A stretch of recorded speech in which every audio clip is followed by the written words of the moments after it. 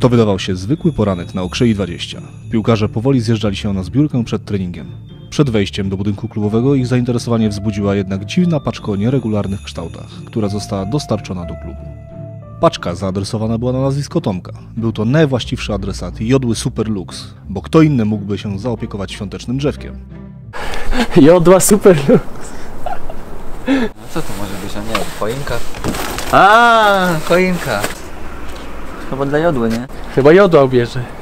Jodła, tutaj mamy dla Ciebie z okazji Mikołaja. Od nas. Jodełka? Jeden. Jodła super luz. Tak jak Ty. Słucham. Tomek wyznaczył młodym zawodnikom odpowiedzialne zadanie przystroić choinkę. Przestrzegł ich jednak, aby uważali na jego cenne bombki. Młodzież przekazuje wam tutaj jodełkę. Zaopiekujcie się nią. Tak się należy. Jak jedna bombka się rozbije na taras. Powiedział surowo Tomek. Młodzi zawodnicy bez zbędnej zwłoki zabrali się do pracy. Niespodziewanie jednak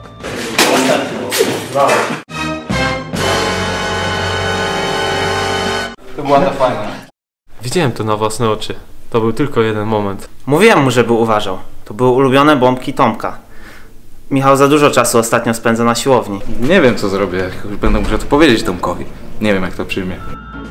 młodzi postanowili kontynuować swoją pracę w nadziei, że Tomek niczego się nie domyśli, nie zauważy brakującej ozdoby. Pół godziny później Tomek przyszedł skontrolować poczynania młodszych kolegów. Bardzo ładnie. Widać, Ładnie? że Ładne połączenie niebieskim z czerwonym. Młodzież się postarała. Ale po chwili zauważył, Martwię się o reakcję Tomka. Nie wiem, co on sobie teraz o tym pomyśli. Mały problem. Michał, jak to mogłeś zrobić? To była moja ulubiona bombka. Ja tego nie przeżyję. Nie chciałem zawieść jodły. Ta bombka sama pękła mi w rękach. Ja nie wiem jak to się mogło stać.